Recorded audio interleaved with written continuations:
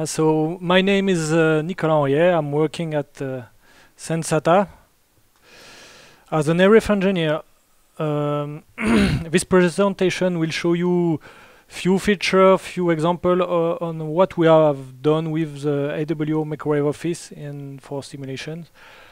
So the product is tire pressure monitoring system. Our sensors are well known under the the Schrader trademark. In fact, so Schrader is a Sensata company actually. So it could be maybe useful to tell you a few words on what is TPMS uh, sensor. So it's tire pressure monitoring system. It's actually four sensors fitting, uh, fitted on each wheels of your car.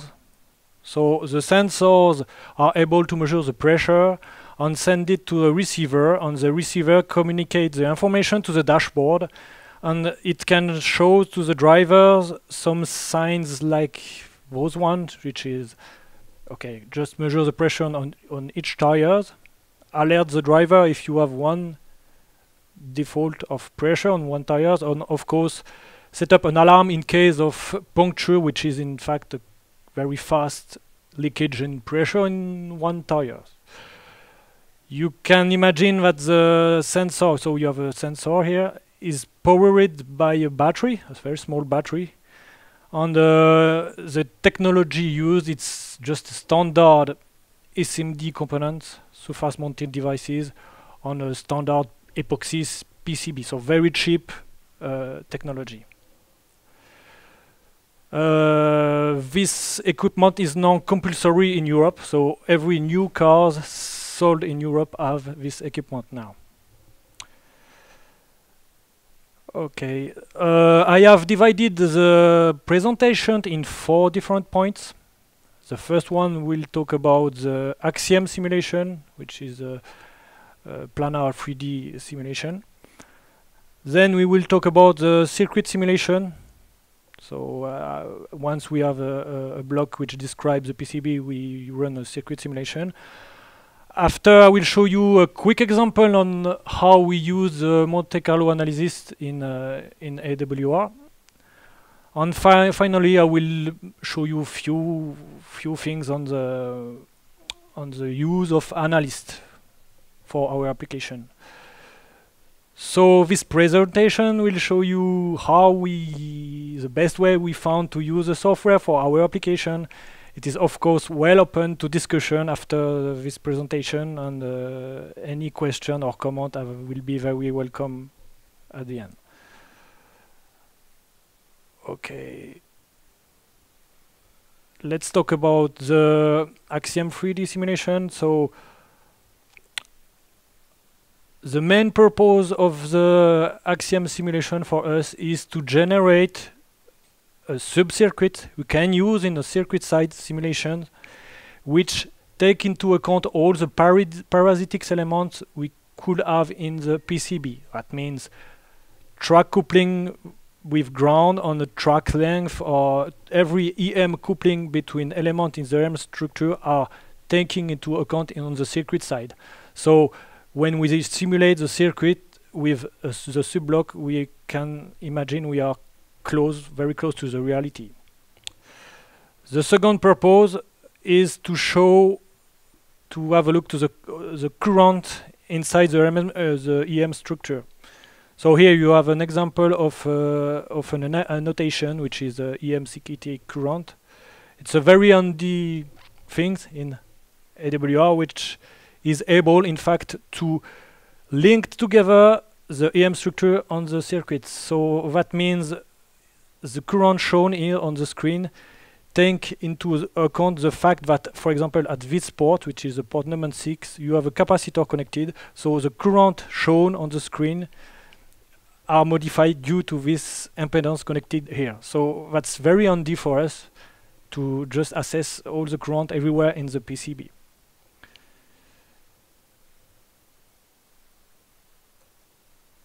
so just practically how do we use AXIEM? So of course the EM structure we have are quite simple. So we import uh, the PCB in DXF format from the router. It works very well.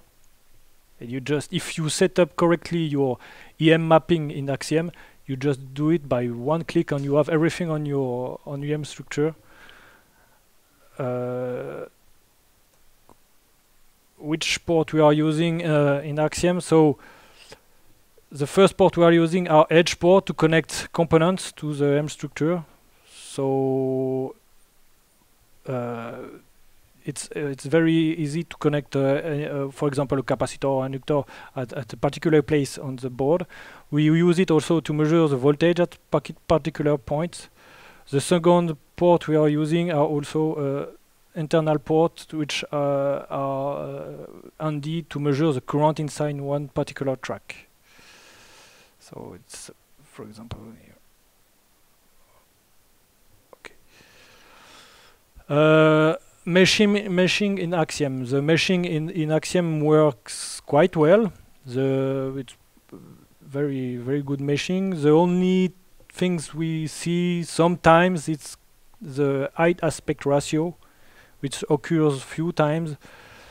We think it's coming from a kind of compa compatibility of accuracy between software. So the only way we found to fix this issue is to take the EM structure, change the grid size down to something very small, like one micrometer or something very small, select all the elements in the EM structure, snap them to the grid, which of course modify a little bit your EM structure, but it won't impact your results at the end, and then go back to the uh, the meshing, the meshing, and every time the high aspect ratio issue just disappears. So very easy to fix for us now.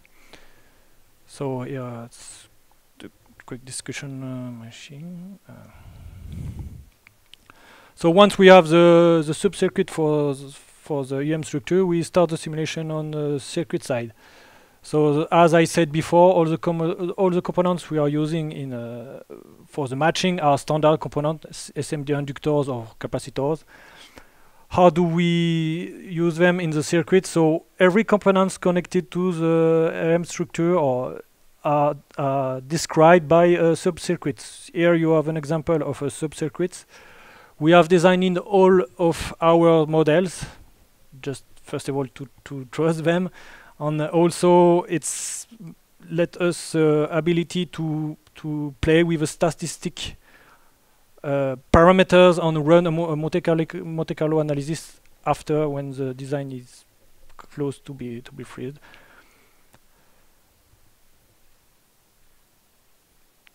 So how do we optimize our uh, RF section? So the first thing we do is, of course, to set up appropriate measurements on a graph, which could be uh, as insertion loss, return loss, uh, current in particular place in, uh, of, the, of the EM structure or voltage.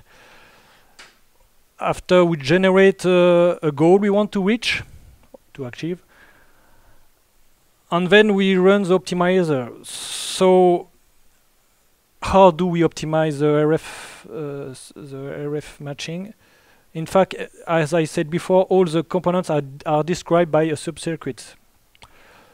The optimizer is able to run the simulation by to run the, an, an optimization by swapping the component among a full library of components. How do we do that? In fact, we describe a vector here which is actually the name of all the components available in the library. Here you have the vector for the inductors, and you have the same vectors for the capacitors. Then every component are described by one element of this vector. For example, C2 here is the, num is the element number 3 of the vector capacitor. So it's actually 1 picofarad. And the optimizer is able to swap all the elements inside the library and try to reach the the goal we have set up. Okay, so it's, it's very very handy things. We can call it a swappable network. So that means you just swap every all the element to reach the goal you want to achieve. And uh, the problem, the problem, the thing is with this such a kind of of uh, optimization is that you cannot use all the method inside the optimizer. On the only methods available with this kind of matching are discrete methods, which are robust method, discrete local search method, and the two random methods, which are local, uh, random local and random global. All the other methods, which are maybe 15 methods, are not available because it's a dis discrete uh, discrete elements. So we have designed also another kind of model, which which is a bit more complicated. Uh, it's a very small. Uh, we won't see it, but just the principle is this model here is very similar to the previous one, except that you can you can change continuously the value of the of the component. Here it's an uh, it's an example of uh, an inductor. So the value of the inductor is here. So it's a, a continuous variable, and all the parasitic elements of the components are described by equation inside the subcircuit. So depending on the value of the, the, the components, all other parasitic elements are calculated in those equations. So that allows us to use all the method inside the um, AWR optimizer. We also use other features like par parameterized uh, modifiers. So we can maybe sometimes play a bit with the length of tracks and the distance uh, between tracks on ground to try to help for the matching of the RF section. So this is the way we we are using the optimizer.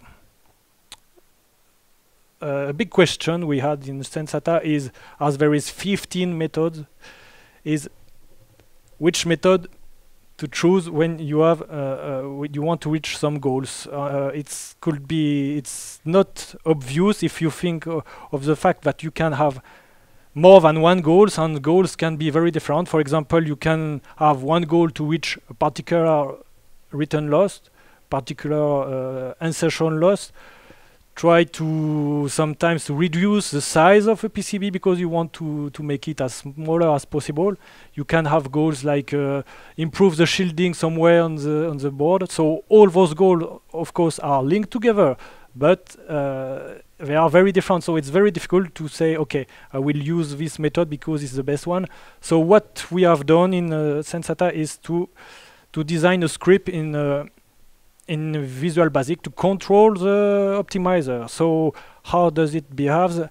So in fact here you have uh, so when you start the, the, the script you see this uh, this windows you have all the methods here okay so you can enable the one you, want to try you also have the number of iteration uh, which are in fact the, the number of uh, times you want to run the number of iteration per method and there is a third number, which is, uh, we call it the efficiency evolution control, which is a percentage. So how does it work? So in fact, it, it's a loop.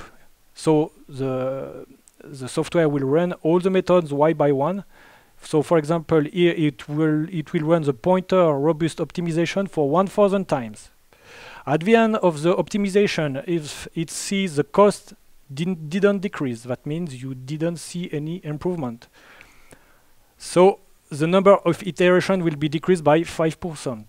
If you have seen a cost going down, that means you have seen an improvement and the number of iteration will be increased by 5%. So loop after loop, because the, uh, the software restarts all the methods uh, every time, loop after loop, you will see that naturally the most appropriate method will have the highest number of iteration on the bad methods will go down to zero, quickly to zero, and will be disabled.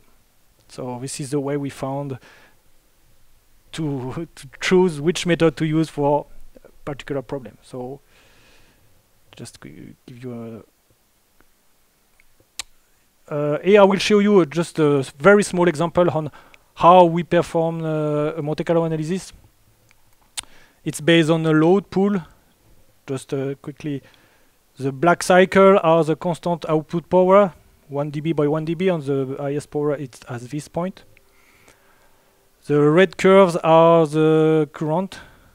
So you see that uh, at high, high impedance you have lowest current and the highest current is at this point.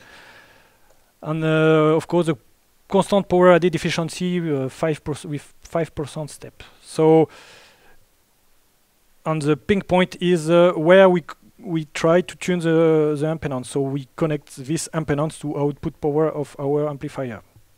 Of course, we always try to be inside the best power added efficiency. So what's happen? What's happening when we run a Monte Carlo analysis? You see that we have 2 dB of spread in terms of power. The current consumption show two step of spread, and it's quite high, not very high, but. And uh, so let me show you how we try to improve uh, a little bit the, this spread. So just by shifting a bit and try to tune it, shifting the, the impedance to the right. If I run a Monte Carlo analysis, again, uh, so we, we see that we have 1.5 dB of loss. So this is uh,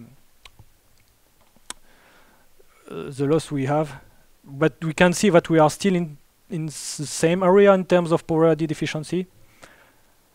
But we can see that the spread is very small, below 1 dB. So it's very good for for the stability of the design, and also the current consumption, uh, as of course, has been reduced in the same time zone. Uh, the spread is a little bit improved also. It's 1.4 step compared to the two previously.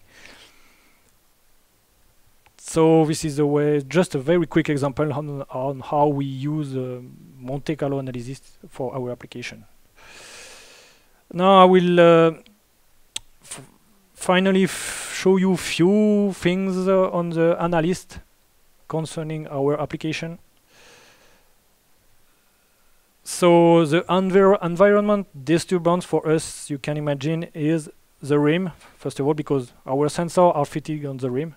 So it's attached to the valve. And uh, oh, the rim is the most important thing for us. So here you have uh, just a picture of a screen copy of what we have done with the 3D editor, which is very easy to use and uh, no bug, no very perfect. Uh, so let me go uh, sorry. So here it's a principle we use on TPMS it's it's not the case anymore but it's a very old uh, principle. Uh, the principle is in fact um, to use the valve stem as an antenna. So I don't know if you recognize it's a valve of your car so you would just inject the pressure when you want to inflate your tires. So it's you recognize it here so the purpose is to send the RF energy into the stem and try to make it behave like an antenna. Uh, it's not. Uh, it's okay. It's not bad at all. Uh, but the problem is it's very dependent on the rim shape. That's the problem of this principle. It works well, but we have some problem from one rim to to another one. So here you have okay the meshing, etc. So what analyst is able to show us is the current, RF current. That's nice picture to look at, but not really essential information for us. On the other hand, uh, the thing which is very important for us is, of course, the diagram plot. As you are maybe aware that on all cars, uh, wheels are rotating. So it's very useful for us to understand if there is null points where the energy is not transmitted so it's very useful for us to to to see such kind of uh, diagram plot. Uh, of course you can imagine that the simulation on a full rim of, of full uh, full wheel takes quite a lot of time and takes a lot of resources on the computer. So we prefer to simulate things with smaller smaller EM structure. Here you have an example of a piece of rim we have designed in, uh, in the 3D simulator. So one feature which is very handy is that you can set up a parameter in the in the 3D editor and use it in the EM structure. So example here you have the example of the angle which depict the rim size. So you can adjust it. Here you have 10 de uh, 20 degrees, 30 degrees, and 40 degrees. So it's very handy for us to just play with the EM structure without going back to the 3D editor. So one other thing we use we use in for with analysis is to to assess the coupling between components on the EM structure. So here you have an example of the disturbance of these inductors on the current inside those tracks and uh, just a, few a few things. How when it's finished, yeah. So thank you for your attention and. Uh, any question or com uh, comments will be very welcome. Thanks a lot.